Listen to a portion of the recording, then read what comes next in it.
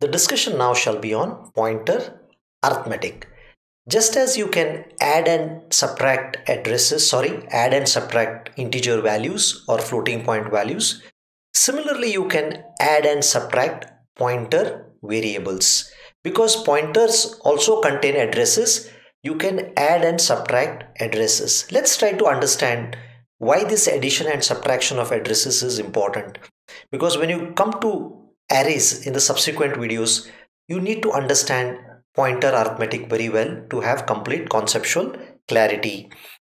So let us say I have an integer pointer whose name is star int underscore ptr. Assume, let us assume the size of int on my machine is 4 bytes. I have declared an integer variable a with the initial value 36 and residing at address 100. Now what I am doing is I am copying the address of this variable a into this int pointer 100.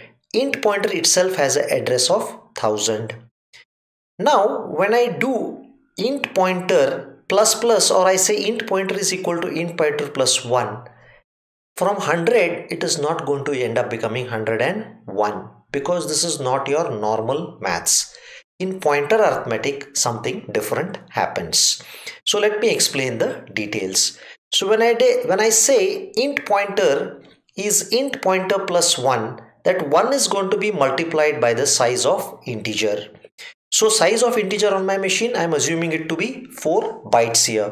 So what is going to happen is int pointer is equal to int pointer plus 4 so if you add 1 to int pointer from 100 it is going to be equal to 104 now if you see this is the value of int pointer as 104. Now you may just be wondering why is it like this in pointers? There is a very logical reason.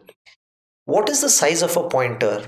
It is 4 bytes. So if my first integer exists at 100, my next integer is not going to exist at 101. It is going to exist at 104 because A has occupied 4 bytes.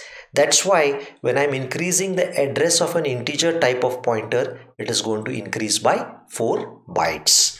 Alright, so the moral of the story or the key concept you really need to remember here is when you increment or decrement the address, that means a pointer variable, it will increase or decrease by the size of the data type it is pointing to or referring to. Alright, so Pointer arithmetic you have addition and subtraction. Pointer multiplication and division doesn't make any sense.